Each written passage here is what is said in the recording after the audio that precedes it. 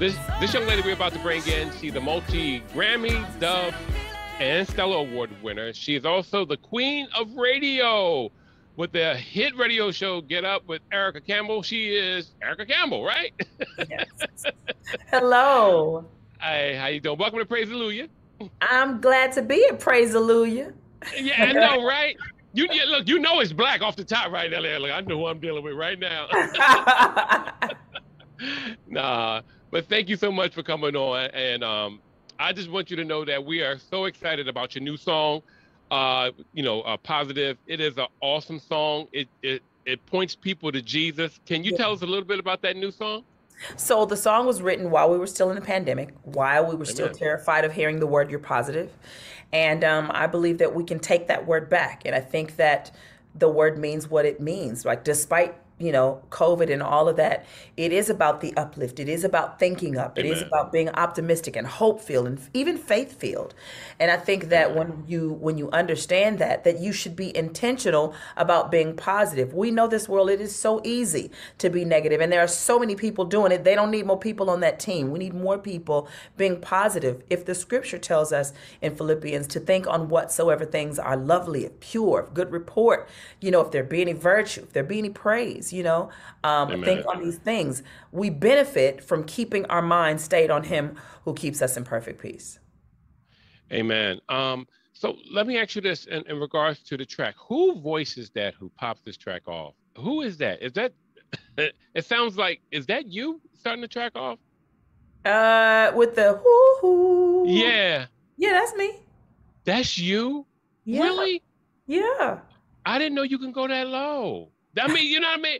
No, seriously, it just sounds so. It just sounds so full. I was like, man, I didn't know you had this type of range on you. Get out! I kept saying, who Yeah. is that? Because I thought it was, you know, I, I'm, I'm not gonna say who I thought it was now, because then you'll beat me up. But I, but no, I didn't know that. That is beautiful. Because Now it's how all you me. started that track off.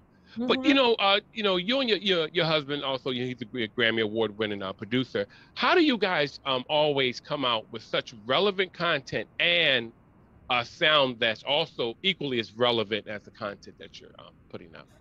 Um, my husband always says that uh, God writes the songs and we just take dictation. So we're always holding pens. We're always recording pieces, and God puts the puts it together. You know, um, I was walking around my house singing the positive song. The same way happened with I love God and a little more Jesus. Um, even writing shackles, it you know, God just pours it into you, and it is our job to be open to hear what He wants. Of course, from a natural perspective, you have to study your craft. You have to make sure uh, that you're doing your absolute best um, and not re- relegating your gift or your talent to a culture or denomination. Um, if God gave it to me, then it's for everybody. If God gave it to me, it should be excellent. If God gave it to me, then it should be progressive. It should be comparable to everything else that you hear. It shouldn't be less than. It shouldn't be lackluster. You know, and so we Yeah, just man. really take um, take to heart and take serious uh, what God has placed in our hands and want to do the best that we can with it. Amen. Um, so uh, you, you and your uh, your sister, uh, the beautiful Tina, um, you guys uh, kicked off the Super Bowl with the Black National Anthem, right?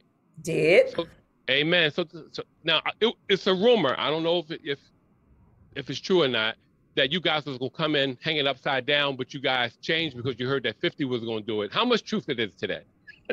You know, you got me. You got me. You found out the truth. I'm just joking with you. I'm just joking with you. But no, that's beautiful. I'm glad that you, guys still um, perform as Mary Mary. So, do you guys are you guys gonna um record again? Do you do you see yourself recording Absolutely. again? Absolutely. Amen. Amen. Absolutely. I mean, Amen. but we've always said that we'll record again. We've we've never said this is our last album. Uh, um, but we, you know, we've taken time to grow as individuals, to grow as women, to grow as songwriters. Um, and it's I think it's really made us way more appreciative of the group. Um, it was a bit overwhelming at the amount of Amen. love we received. The the the responses and the kinds of responses, the phone calls that we got. It was just absolutely amazing to feel that level of love. We are so grateful for those Mary Mary fans, those diehard fans that uh, were still cheering us on all these years later. Yeah, you know, I'm looking at everything that's happening in your life. You have a, you know, you have three beautiful children. You have a wonderful husband. You guys seem like everything that you touch just just blossoms. I truly see the blessing of Abraham in your life. You know, everything that God promises, you like you guys just walking into it. Is mm-hmm. that something that you guys look at and and and and confess and hold to purposely, or it does it just show up for you guys because you're just obedient to the call?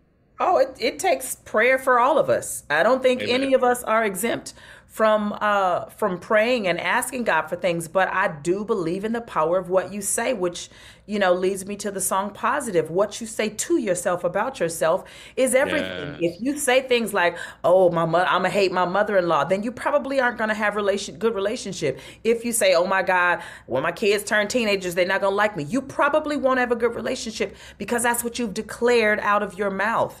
You know, if you if you know if a man is looking at his wife as problem, she gonna spend all my money. That's the kind of wife you're going to get because that's what yeah. you've spoken into existence. If the scripture tells us life and death are in the power of the tongue, what you say to yourself about yourself is important. We've got to say what God has said about us.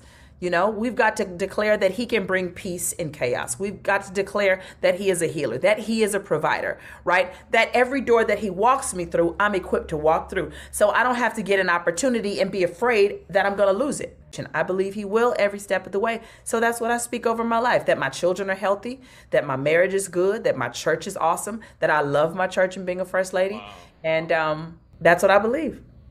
Wow. No, no, you, you sound like a woman of purpose, and, and that's and that's a beautiful thing. And um, we're just really happy about that. I, I did hear one thing. It's, it's a real woman. It's not it's not a you know fake woman like I just said, but a real thing. I heard you you guys want to do a Verzuz with uh, BeBe and CeCe. We are you, on Easter Sunday oh, live live from my church, live from the California Worship wow. Center. You want to come to LA? Uh, baby, oh, please, I live in Philly. You know I'm trying to get out of here. you, don't have to ask twice. Come on oh. now. Hey, please. That is beautiful. Oh man, you, yo, give me give me a few that, uh, of the songs you guys gonna drop on them first. How y'all gonna open up with that? Uh, well, I can't tell you that. You gotta watch. you to give it something. Oh man, that no, that's gonna be beautiful. I, I really do um thank uh thank the Lord that you guys are doing this because um they give everyone also opportunity to see who uh put more respect you know, on, on BeBe and CeCe name, you know, to, to the young people these days, because some of them don't know. Yeah, I don't think it's a matter of disrespect. I know we say put some respect, yeah. but I don't think it's. I think they just don't know. You know what I mean? If oh, if yeah, they haven't yeah. been listening to that, then they don't realize how amazing BeBe and CeCe are. I am huge fan, so I'll be cheering for them uh, every step of the way. It's, it's more of a celebration. Yeah. Sunday we celebrating Jesus and the resurrection. It's the absolute best way to end your day yeah, you know, amen, amen. But no, I, I just want to say, you know, I thank you for what you're doing. I thank you for always being a role model, and uh, and always just um just just you know living the standard. I, I appreciate that for showing mm-hmm. for being transparent, and I just want to say uh, thank you to you and your family. So um.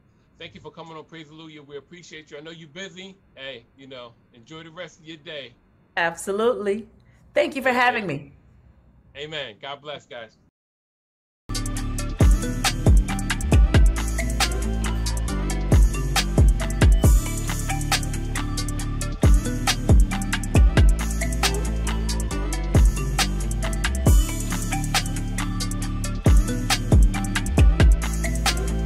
Remember, Jesus Christ love you for real.